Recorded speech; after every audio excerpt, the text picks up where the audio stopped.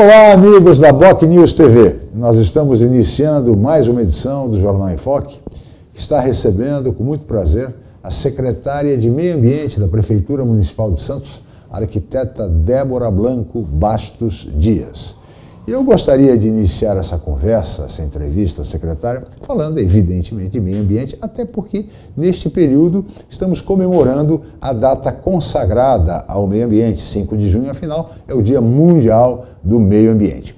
Mas falando sobre isso, secretária, eu gostaria de começar a entrevista eh, colhendo a sua opinião sobre desenvolvimento sustentável diante da grave crise que o país atravessa.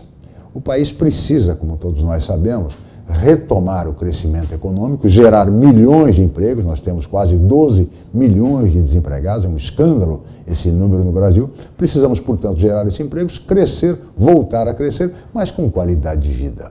Ou seja, buscando o desejável sustent... Eh, desenvolvimento sustentável. É possível se alcançar esse desenvolvimento, secretária, ou isso é uma utopia? Obrigado pela sua presença. Bom, primeiro, bom dia, é um prazer estar aqui com você. E é uma pergunta simples, né? Uhum. É, eu digo sempre que nós vivemos uma sociedade onde a gente trata o geral, né? É, e esquece que as pessoas têm aspirações diferentes. Né? Então, o que é desenvolvimento sustentável para um, para outro não. Então, eu acho que tem uma discussão muito clara na sociedade hoje é, da questão do consumo. Né? O que, que é importante, o que, que me faz feliz? Então, em cima desse índice de felicidade, né, que muitos institutos já medem, eu acho que a gente pode começar a discutir o que é desenvolvimento sustentável e o que é mesmo desenvolvimento. Né? Porque o, o conceito de desenvolvimento na década de 80, ele estava é, linkado diretamente à questão da renda, à questão do econômico. Né? Exatamente. Né? Hoje, Exatamente. na verdade, nós estamos buscando a sustentabilidade que envolve a questão ambiental, né? a questão é, das áreas verdes, da nossa, dos nossos recursos hídricos, uhum. é, dos nossos animais, né? quer dizer, como é que o homem se incorpora na natureza novamente. Sim. porque nós estávamos incorporados na natureza. Nós é que nos afastamos e criamos grandes centros urbanos, né, deixando de lado tudo, toda essa questão que, na verdade, faz parte da nossa subsistência. Então, quando a gente fala em desenvolvimento e quando a gente fala em crise, né, primeiro que eu acredito sempre que na crise é o momento onde o homem consegue ser mais criativo. Né? Sim porque quando você não tem a facilidade econômica, você tem que se redimensionar, se rever. E buscar alternativas, né? Sim. E aí você recria algumas situações. Então eu acredito muito que é uma fase muito rica em novas propostas. Segundo, é, em cima disso, nós vamos buscar novos elementos para compor o nosso dia a dia. Então a questão do, do do material reciclável. Né? Hoje muitas empresas trabalham isso de uma forma até industrial.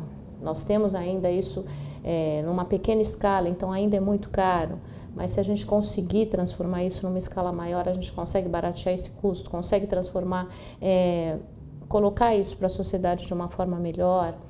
É, eu acredito também que toda a questão da educação nas Sim. escolas, né, a partir da década de 80 também mudou muito. Então hoje o perfil do jovem já é diferente. Então, assim, acho que discutir desenvolvimento sustentável é discutir os valores que a sociedade tem. E eu acho muito importante, neste momento de crise, a gente se perguntar o que realmente nos faz feliz, o que realmente vai fazer diferença na minha vida. Às vezes não é ter o melhor celular, não é, é, é o melhor carro, né? Mas é ter uma comida saudável na mesa. Às vezes é melhor nem ter celular? Sim, sim. né? Ter uma condição saudável de vida, porque o, os grandes centros urbanos, e nós estamos no meio da região metropolitana, é. né, onde a vida é uma corrida atrás do tempo, né, nós não temos mais tempo para viver, é mas a gente corre atrás do tempo para ganhar dinheiro, para sobreviver. Então, essa revisão eu acho importante e eu acho que Hoje o jovem já está fazendo, eu acredito muito nisso. Uhum. É, e, e, principalmente as crianças, né? Educação ambiental é indispensável para as crianças, para que no futuro as nossas novas gerações eh, tem, recebam e tenham um país melhor do que aquele que nós estamos tendo hoje em dia, com tantos problemas éticos, morais, econômicos, políticos, como todos nós sabemos. Agora, secretária, uma questão que é muito, que preocupa muito a nossa região no passado dizia-se, é um barril de pólvora a nossa região, porque a ilha vai explodir, referência à Ilha Barnabé, o mar vai invadir, a serra vai desabar. Eram, eram aquelas é, manchetes assim que, que, anunciavam tragédias, enfim. A nossa região ela foi realmente muito, muito afetada, né? muito é, prejudicada por tantos desastres ecológicos e tragédias ambientais. É, recentemente tivemos vazamentos é, de óleo, é, vazamentos também de produtos tóxicos, tivemos incêndios de grandes proporções na nossa região. O que, que pode ser feito concretamente, secretária, para que se possa ao menos minimizar esses riscos que a região está enfrentando? Bom, Lascala, eu participei diretamente do, do grupo de crise que o prefeito montou na, no incêndio da Ultracargo. E ficou muito claro que quando você une as forças, isso melhora muito. Né? Você organiza, você compõe, você tem troca é, de ideias, troca de experiências técnicas. Isso foi muito importante. E, mas acredito que a região precisa se é, recompor no significado do que é risco. Né? Isso é uma discussão que está na mesa. Uhum. É, a própria secretaria, que ainda não tem o, o, a atribuição de legislar ambientalmente, Sim. mas está se preparando para isso, vem discutindo a sua legislação.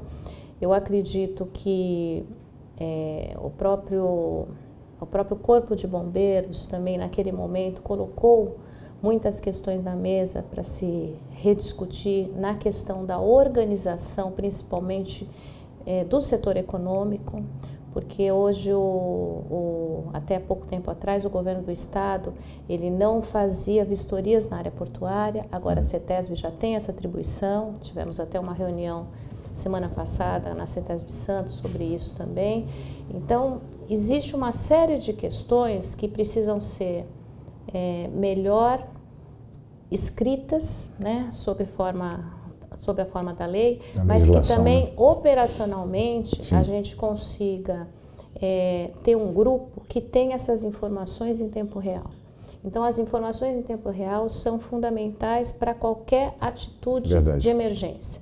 Se eu tenho a informação em tempo real de onde está cada produto, isso ajuda no combate, isso ajuda na retirada da população, Sim. isso ajuda em qualquer atitude que eu tenha que tomar numa situação de emergência, né, de urgência e emergência. E esse foi um grave problema nesse, nesses desastres, né, secretária? Essa questão da, da comunicação. Havia muita confusão, as pessoas não sabiam o que estava acontecendo, enfim há um certo pânico na população e as autoridades também, é, pelo menos no início do problema, sem ter muito como responder aqui. É, eu acho que o problema maior foi as, é, as autoridades que eu falo, todos os órgãos, Sim. no primeiro momento, e foi bem no primeiro momento, é, não estarem unidas. Exatamente. Né? Na hora que se uniu isso, isso. É, houve uma resposta. Houve uma resposta, a atitude àquele problema foi direta, a busca pelas soluções foram mais rápidas, né? Porque quando você tem os três níveis é, municipal, estadual e federal atuando em conjunto, os órgãos técnicos dando o suporte é, para aquela situação, uhum. você efetivamente consegue é, dar resposta. Né? Não seria o caso de se montar um gabinete é, para esse tipo de ação preventiva, secretário, permanente? Eu acho que é o caso, eu acho que, né, eu, eu penso que o, que o prefeito de Santos tem feito esforços para isso. Um dos esforços é a construção do Centro de Controle Operacional, Sim. que está sendo feito é, lá na Prefeitura, né, na área uhum. do embasamento. Nós, é, por outro lado, a Secretaria de Meio Ambiente, num viés ainda muito pequeno, que é o viés ainda de ocupação irregulares e riscos de escorregamento, nós estamos montando agora a sala de situação do litoral sustentável. Então, ações estão acontecendo para uhum. isso que aconteça. E o Ministério Público também tem cobrado bastante. Isso é bom, claro. porque faz com que as coisas andem, andem é mais organizadas, com maior rapidez né, e com maior eficiência mesmo, porque é uhum. isso que a gente precisa. Eu acho que a população precisa dessa resposta. Sem dúvida nenhuma. Secretária, a senhora falou na, na sua intervenção anterior a respeito da, passando sobre a questão do porto. E isto remete a uma outra preocupação, de, principalmente de moradores da ponta da praia e da, da região do estuário, com, em face ao terminal de grãos da ponta da praia e toda a poluição que acaba sendo gerada, material particulado. É, muitas pessoas sofrem de problemas é, é, com relação a questões pulmonares. Enfim, há até um estudo feito pela Câmara Municipal de Santos nesse sentido. O que, que avançou nessa questão? Porque a Prefeitura chegou a ir até o Supremo Tribunal e não obteve êxito. Eu lembro que até o ministro Ricardo Lewandowski exarou um parecer eh, mantendo a, o funcionamento da operação do terminal de grãos, eh, alegando a questão econômica, o interesse nacional. Né?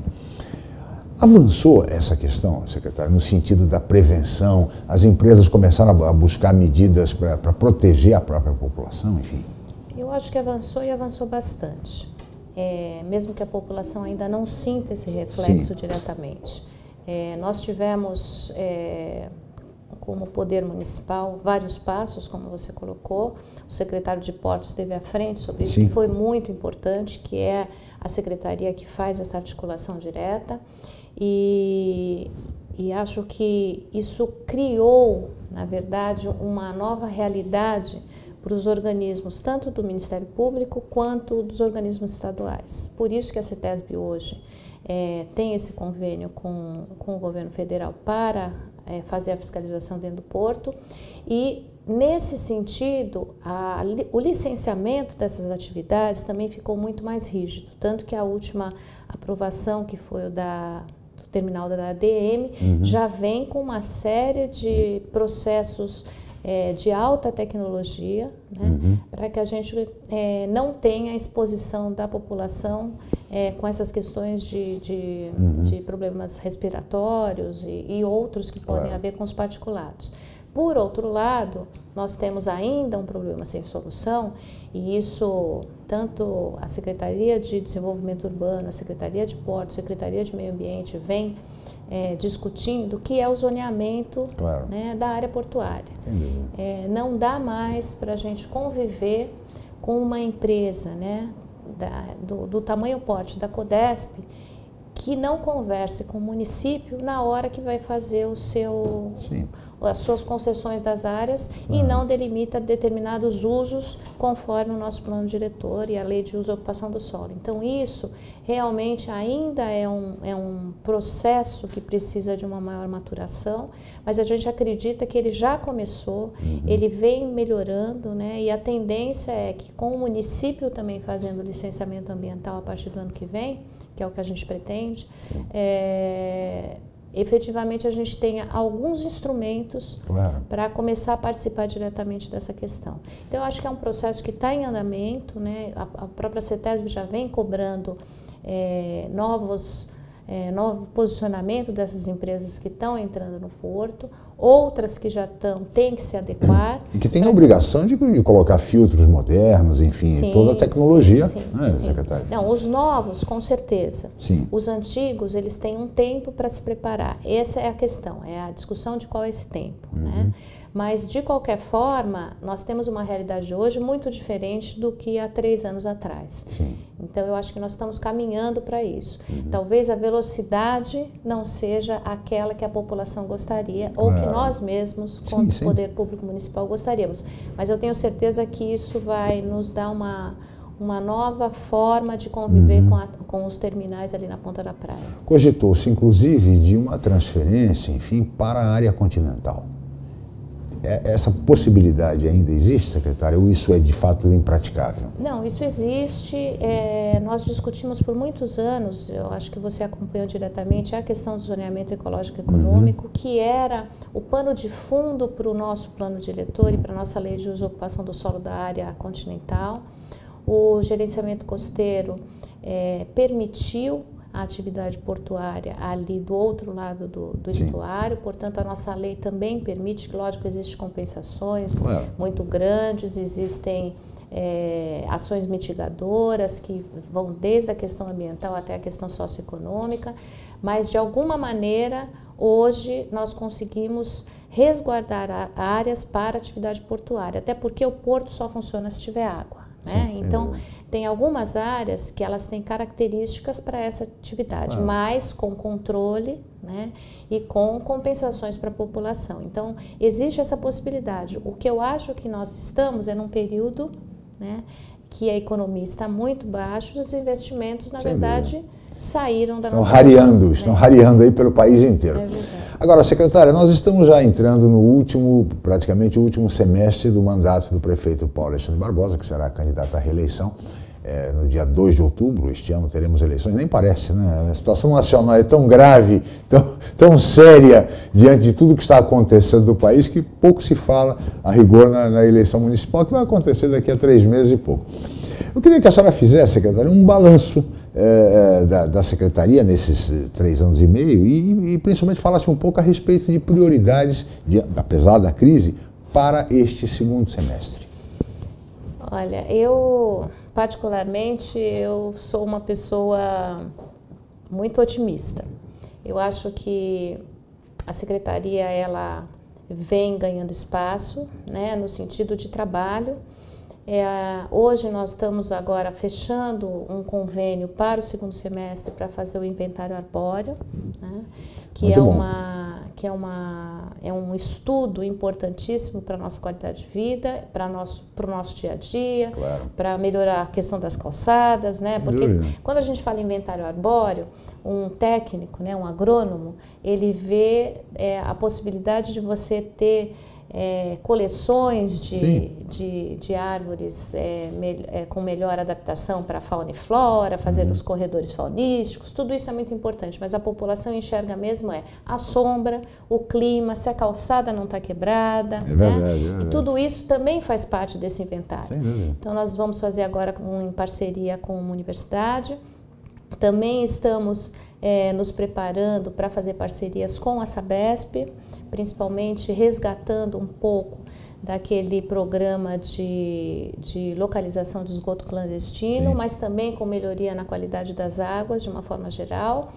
É, estamos montando, o, estamos nos preparando né, para fazer o licenciamento ambiental e isso tem muito a ver até com o próprio direcionamento que o prefeito Paulo, Paulo Alexandre nos deu, que foi é, ter a atribuição de desenvolver o, a primeira etapa do licenciamento ambiental junto à CETESB da entrada da cidade. Sim. Isso para a Secretaria foi fundamental, foi a base para a gente montar esse primeiro grupo, né? e que agora ele deverá se preparar para os próximos passos para o ano que vem. Então eu acredito, e fora isso, nós, né, aí eu só tenho a agradecer, porque nós temos hoje toda a atribuição de cuidar dos parques, né? O Sim, orquidário, orquidário, aquário, jardim botânico, a própria Codevida, que é um, que é um instrumento fantástico de, de, de serviços para a é população, né?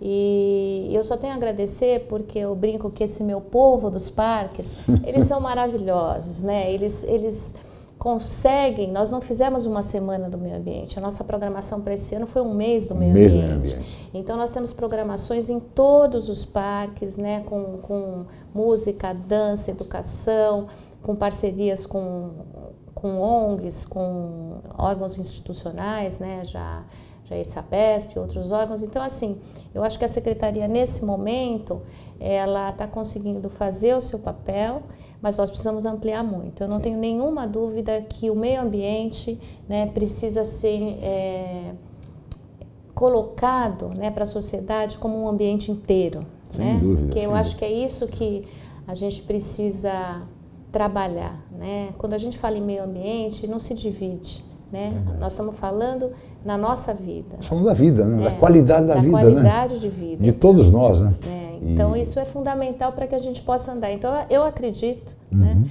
que isso é um, né, uma visão, né, uhum. mas eu acredito que daqui a 10 anos os órgãos públicos terão secretarias de fiscalização e monitoramento, mas a palavra meio ambiente, ela, ela vai permear a administração de qualquer órgão, porque não dá mais para pensar em qualquer coisa sem pensar na qualidade sem de vida. Sem pensar em qualidade de vida. Então, eu acredito que o meio ambiente vai passar a ser Prefeitura Municipal de Meio Ambiente Prefeito. de Santos.